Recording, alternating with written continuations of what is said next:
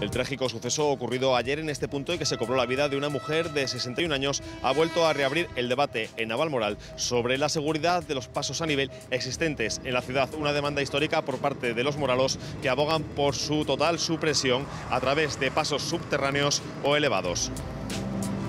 Eva, ¿cuántas veces al día pasas tú por este paso a nivel? Pues normalmente unas tres o cuatro veces. Tres o cuatro veces. ¿Tú crees, consideras que este es un paso a nivel peligroso? Hombre, sí, pero es problema nuestro casi, te digo, porque no respetamos las barreras.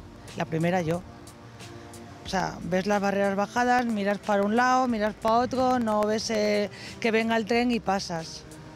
No, no lo debemos de hacer, pero lo hacemos. Primera yo. Nati, nos damos cuenta que sí que existe una barrera para impedir el paso de los vehículos, pero sin embargo los peatones pueden pasar libremente, claro, siempre bajo su responsabilidad. Sí, sí, la verdad que sí. Eh, lo que pasa que, claro, si tienes la señal del semáforo que está en rojo, pues tú la debes respetar. Yo lo hago al menos, pero bueno, eso ya es con cada uno. A no ser que pongan una barrera de seguridad, es la única forma, como ponen la barrera de los coches. El Moya tiene mucho tráfico y este tiene mucho tráfico. Estos cruces siempre han tenido mucho tráfico. Antiguamente había otro aquí en las Cologas, no sé si os acordáis, también lo cerraron. Ese también tiene mucho tráfico, menos mal que lo cerraron. Pero yo no sé, o entrarlo o hacer un túnel, porque para que un túnel ya me convertirá a las mujeres de las miedo. Este puente estaba aquí para salvar este paso a nivel y está suprimido el puente. Sí, lo han quitado, hacen una guarrería. Un montón de millones que se gastaron aquí para nada. Porque tú sabes la zurra que te pegabas de subir y bajar el puente. Las mujeres mayores no pueden con los carros cargados de la compra, tío. Tú sabes que subir hasta arriba una mujer cargada con un carrino. No pueden, hombre. Hicieron esto aquí para nada.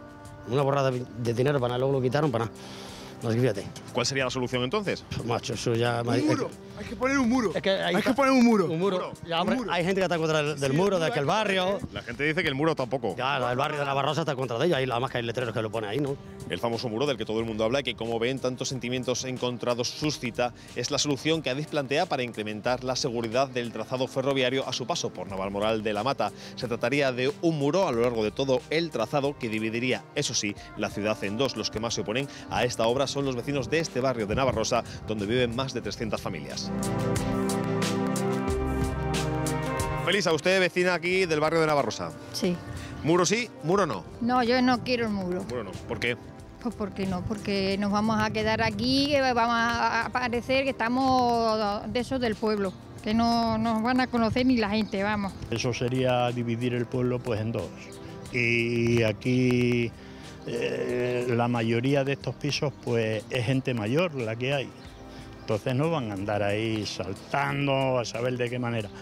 Esto, la única posibilidad para todo el mundo quedar a gusto sería hacer el paso subterráneo. Pero aquí estamos. Paso subterráneo se refiere usted a que el tren fuera soterrado. Soterrado, sin ninguna duda. El Ayuntamiento de Navalmoral confirma que el proyecto para la supresión de estos pasos a nivel ya se encuentra licitado a falta de fecha definitiva para su puesta en marcha. La solución planteada es que tanto peatones como vehículos salven estos cruces cruzando la vía por debajo. El objetivo es evitar que sucesos como el de ayer puedan volver a repetirse.